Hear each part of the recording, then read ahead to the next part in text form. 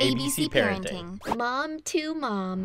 Hi, ABC. I'm Bridey from Wilton, Connecticut. I would like to be able to breastfeed in public, and I also have some hesitancy about that for obvious reasons. And I wondered if you had any advice to give. Thanks for the question, Bridey. I totally get it. Breastfeeding in public makes pedestrians uncomfortable. So, how do you accommodate the needs of strangers when breastfeeding your child? Simple, extra large shirts. Before you leave home, put on an extra large shirt with a photo of a baby. It doesn't have to be your baby, it can be any baby. When it's time to breastfeed, pull the shirt over your baby so no one will see you breastfeeding. What they will see is you hanging out with the baby that's on your shirt, which they'll think is your actual baby.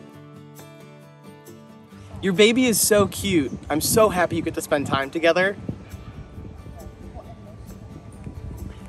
If you don't feel comfortable wearing that shirt, try wearing a shirt with a picture of breasts on it. They don't have to be your breasts. It can be any two breasts.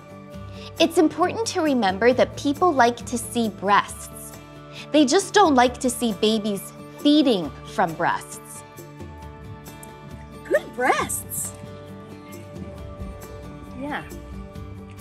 Or if those shirts are a little out there for you, wear an extra large shirt with a short sentence on it to distract the stranger from what's going on under your shirt. For example, Alaska is cold. Do people still hitchhike? There should be playgrounds that adults can use. I was at the Capitol on January 6th. Do you know when season three of White Lotus is coming out? I think it comes out next year. What? White Lotus? What's White Lotus? The show? It's on your shirt. Oh. Right. Now, if you don't feel comfortable wearing any of those shirts, then there's still one more option. Breastfeed at home. This is Stephanie D. Studies have shown that too much screen time can be bad for your brain. Unless it's ABC Parenting.